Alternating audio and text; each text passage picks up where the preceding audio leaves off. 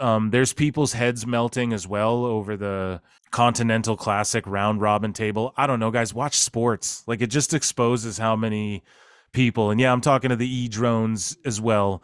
Like how many people don't watch sports that watch wrestling nowadays. Part of me years ago, I would compare wrestling to like it's the closest thing to real life comic books. You know, it's the closest thing to real life superheroes and supervillains uh, playing out in front of us.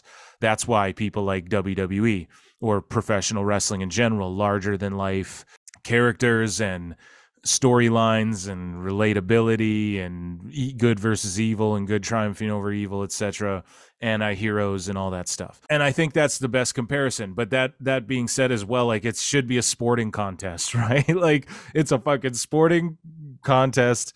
I mean if you guys don't haven't seen a round robin tournament of like hockey like i don't know i'm from canada so we do round robins in the you know in the worlds that are the olympics whatever. We i mean it's just you watch soccer i don't know i'm a new japan mark as well so i've seen these things play out before it's if you can't rack your if you can't you know add three plus three plus three i'm sorry i don't know what to tell you it is a little conf- it doesn't work so well people are giving aew credit for doing this first tna did this first they did similar round robin type things so i i just don't think it like really works in modern. I don't even think it's necessary, but I'm into it. I'm not gonna lie. I like it. I like the idea and the prospect of it all.